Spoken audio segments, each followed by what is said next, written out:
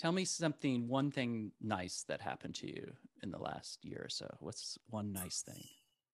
Um, my boyfriend and I adopted a puppy. So that has been great. Her name is Scoops. And Scoops? Scoops, like two scoops of cookies and Oh. cream, Scoops. Okay. because that's what she looks like. She's uh white with black spots. Nice. Um, nice. she's adorable. Yeah. Is she a color? Um, oh yeah. yeah. I mean, she's good. still a puppy, so she's she likes to play. She's pretty active, but when she's um, ready to relax, she's a cuddler. And She's Wow. very sweet. Yeah. yeah, I think I would have. We have two dogs now, and I don't think I could have managed this last year and a half without two dogs.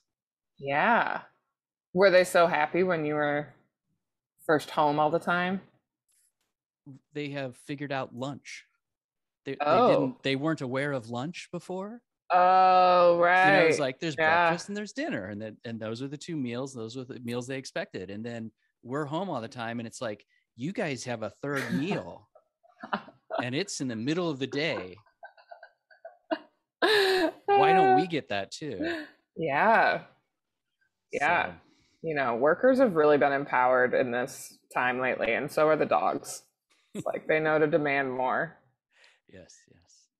That's so right. funny.